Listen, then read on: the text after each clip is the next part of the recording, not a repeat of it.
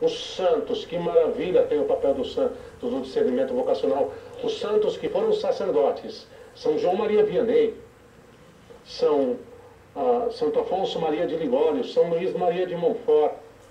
Aí tem exemplos que não acabam mais. Não acabam mais. Um exemplo melhor que o outro, mais maravilhoso. Eu tenho que colocar aqui, como não? São José Maria Escrivá, claro. o grande São José Maria Escrivá, e depois, continuar firme onde se está, não vai se parar, se congelar tudo num segundo.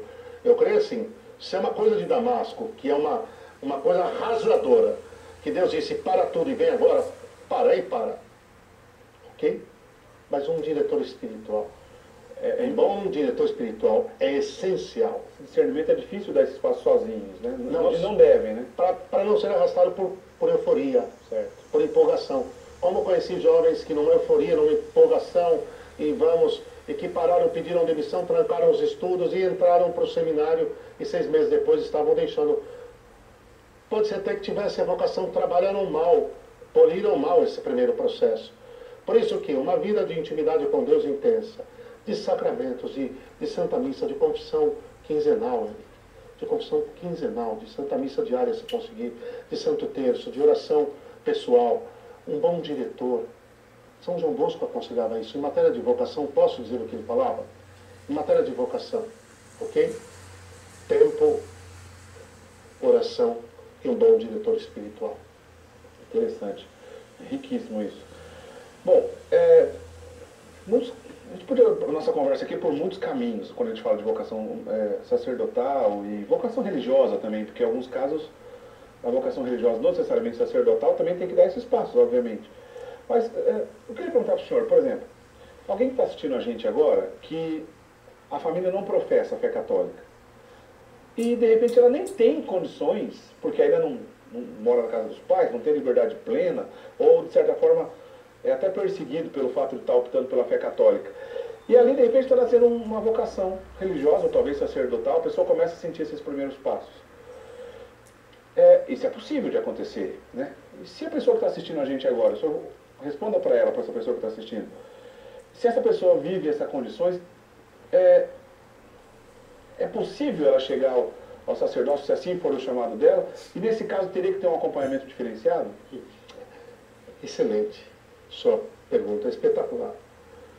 Sobre essa matéria, primeiramente eu quero agradecer, e como muitos devem agradecer a minha família, que apoiou muito, sem tirar um segundo a liberdade, que apoiou muito, muito, apoiou enormemente. Quero agradecer de coração o quanto foram generosos, o quanto foram bons, sem tolir minha liberdade de discernimento um único segundo sequer.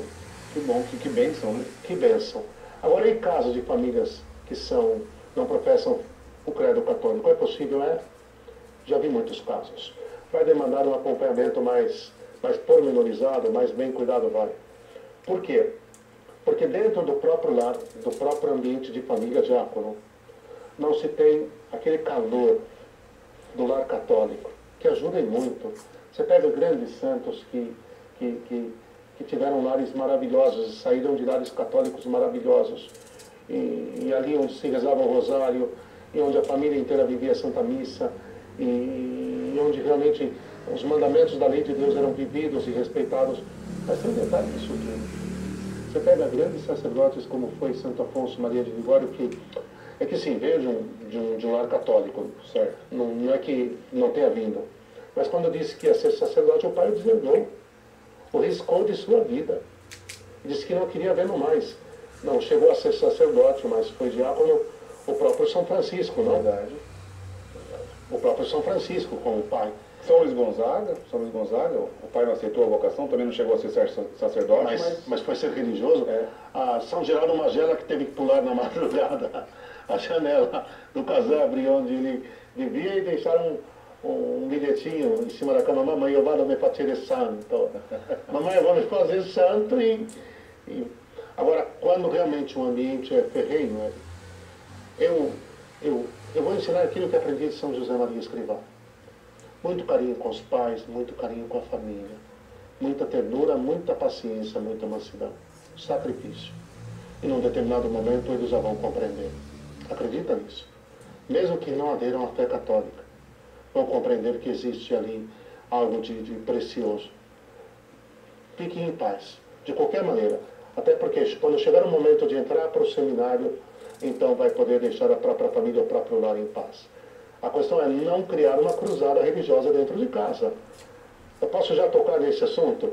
É não querer, então agora, fazer uma espécie de proselitismo, que é necessário, um bom e saudável proselitismo, mas um proselitismo ferrenho, de índole que agora nós vamos, usei um termo talvez até equivocado, as cruzadas foram boas, sim, mas não querendo criar uma cruzada no sentido negativo, não? Como, como se ah, quisesse abrir a boca para sair convertendo todo mundo. Todo mundo, de uma forma, é, a torta e a direita.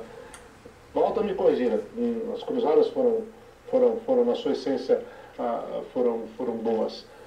Mas então, carinho e paciência com a família, mas dá. Dá.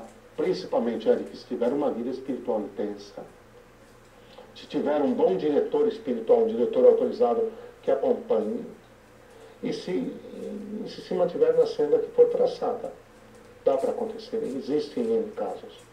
Agora, se no primeiro obstáculo se, se abrir as portas ao vento gelado do desânimo, da apatia, é preciso que o jovem tenha claro qual que é o meu ideal de vida.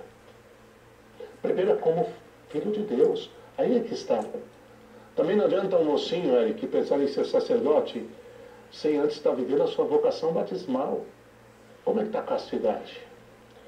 Ah, isso é um bom, é um bom, é, um bom indício para a pessoa que está pensando ainda no discernimento. É. Voltando um pouco atrás, ainda antes dos primeiros passos, é. como discernir essa vocação. Né? É. Como é que está a castidade? Como é que está a minha vida de oração? Como é que está a, a minha santificação do dia a dia? Hum? Como é que eu penso em ser sacerdote?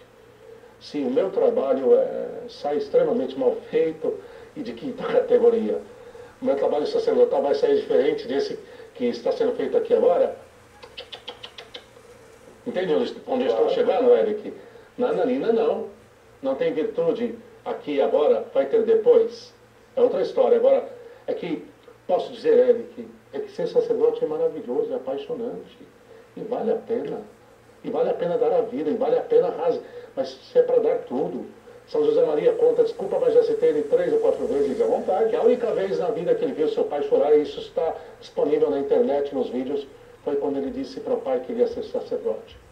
E o pai olhou para ele chorando e disse, se for para ser sacerdote, para abrir mão de um amor humano, de uma família, entende o quanto isso vai custar. Só vale se for para ser santo. Vale a pena ser sacerdote. Vale a pena ser padre, mas olha o papai dele. Só vale a pena se for para ser santo. E se é para dar tudo, se é para dar 100%, então vale. Agora, hum, desculpa, meia boca não. Que bonito isso de São José Maria do Pai. O pai chorou, é. que bonito. Só vai se for para ser santo. E ele, e ele seguiu. Ele não, foi, foi bênção patriarcal, é, é verdade. foi? Literalmente. Né? Foi bênção patriarcal. Padre Wander, vamos mais um intervalo? Na volta, eu vou fazer a pergunta para o senhor já do sacerdote até porque muitas pessoas que, que assistem o nosso programa têm contato, obviamente, com o seu sacerdote, amam o seu sacerdote, o seu pároco, e muitos sacerdotes também assistem a gente. Se a gente pudesse traçar, né, que vale um, um, algumas regras, dicas, se é que pode dizer assim, que todo sacerdote deveria viver para ser um bom sacerdote, né? De que caminho a gente poderia falar sobre esse assunto? Como o senhor daria essa resposta? Aliás, vou fazer essa pergunta no próximo bloco. A gente vai para o intervalo agora, na volta pode